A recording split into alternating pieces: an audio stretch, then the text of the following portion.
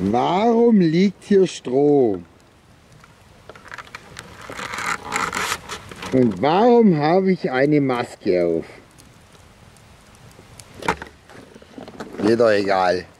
Leute, ich sage euch, ich habe jetzt langsam die Schnauze voll. Das ist ungefähr das 20. Take. Und so langsam habe ich so richtig einen Sitzen. Aber ich würde mal sagen, ich trinke jetzt einen auf euch zum Wohl miteinander. Weil ich bin richtig stolz auf euch. Das, was ihr letzte Woche während der Korofanten-Challenge gemacht habt, das war wirklich sensationell. Egal, ob jetzt jemand ein richtiges Vollprogramm abgeliefert hat mit Motorradausfahrt über teilweise mehrere hundert Kilometer mit Zeltlager im Wald und Lagerfeuer oder ob das jemand leider nur vielleicht von der Couch aus oder in der Motorradgarage machen konnte. Es spielt gar keine Rolle. Jeder hat das gemacht, was für ihn möglich war. Jeder für sich, aber alle zusammen. Und in diesem Sinne möchte ich mich bedanken, ganz besonders bei den Leuten, die dann die Livestream-Übertragung auf Amadeus TV erst möglich gemacht haben.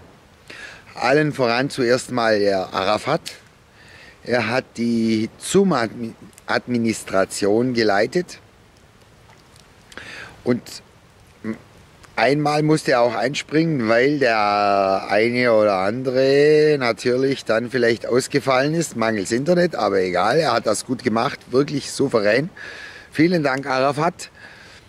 Ich bedanke mich bei der Sandra für die Moderation der italienischsprachigen Teilnehmer. Sandra, es war einfach herrlich, dir zuzuhören.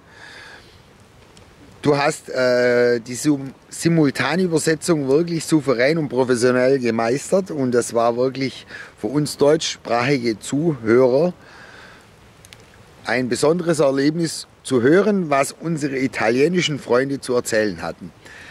Ich bedanke mich beim François aus Paris. Er hatte in vier Sprachen an der Konferenz teilgenommen und dann die französischsprachige Konferenz geleitet. François, ich trinke einen auf dich und auf deine souveräne Leistung. Merci. Im Anschluss kam der Carsten Bender. Er hatte dann für die ganzen englischsprachigen Teilnehmer aus ganz Europa die Moderation. Wir hatten Teilnehmer aus Griechenland, Spanien, Sizilien, Nordirland, Großbritannien, aus Norwegen, Schweden, Belgien, wirklich komplett ganz Europa hatten wir abgedeckt.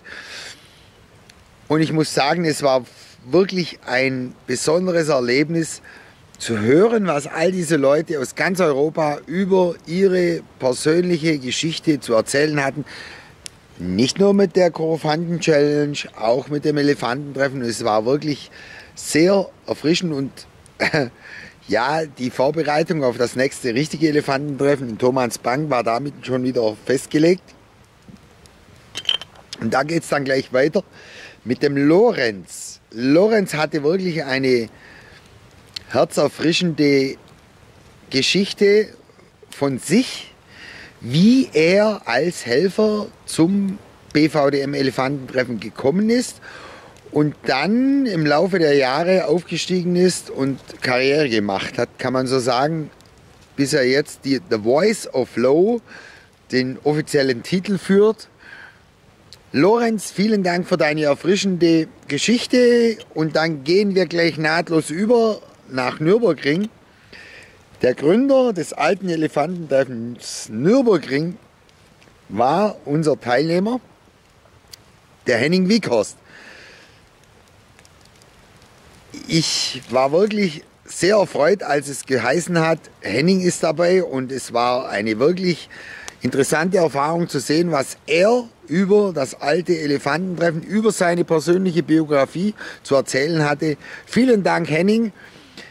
Ich freue mich schon auf die weiteren Geschichten von dir, weil ich glaube, die Geschichte ist noch nicht abgeschlossen. Wir haben noch mehr miteinander, das wir zu teilen haben. So, Anschließend gab es dann die internationale Konferenz. Der Arno Bös professionell und souverän hat er die Teilnehmer aus ganz Europa der, in der englischen Sprache moderiert. Wir hatten die Dragon Rally aus Großbritannien. Milwasch, das legendäre Treffen der französischen Freunde aus dem Massiv Central und natürlich die Agnellos aus Italien.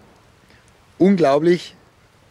Arno Bös, ich bedanke mich im Sinne der Sache bei dir für deine professionelle Arbeit und es war wirklich wunderbar, dir zuzuhören. So, der Höhepunkt der Veranstaltung dann natürlich das Live-Konzert von Zappa, von seinem Weiher.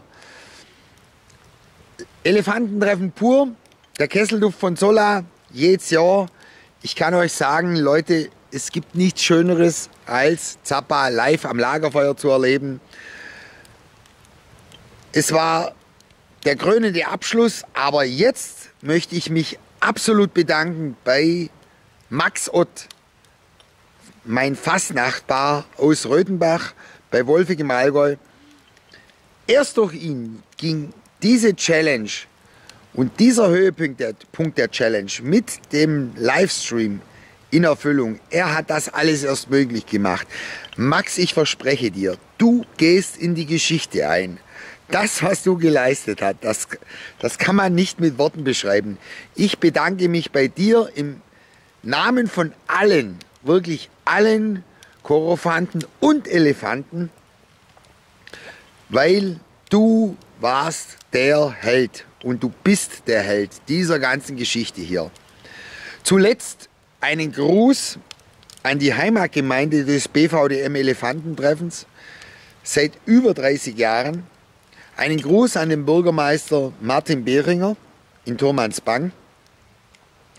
Wir alle werden in Form von Pins, Aufkleber und Patches unsere Solidarität mit dieser Gemeinde, wo das BVDM Elefantentreffen seit über 30 Jahren stattfindet, setzen und werden an unseren Mützen, Motorrädern und Kutten ein Zeichen setzen für diese Verbundenheit. In diesem Sinne möchte ich nur noch eines sagen und zwar einmal Elefant, immer Elefant. Ich bin der Amadeus, der Hanavoni. Heute bin ich auf dem Elefanten getroffen. In dem Sinn, zum Wohl miteinander, für Gott miteinander.